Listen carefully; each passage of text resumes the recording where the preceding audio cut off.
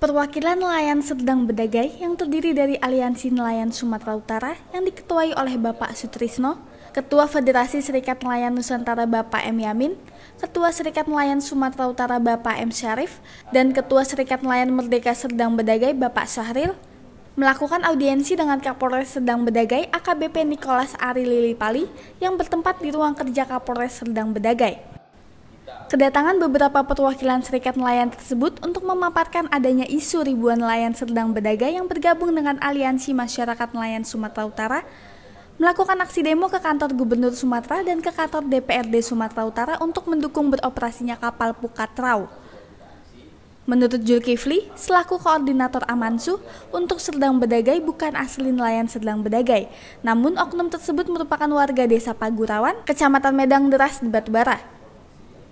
Selain itu, Sutrisno juga menjelaskan bahwa Amansu merupakan salah satu pendukung beroperasinya kapal Pukatrau.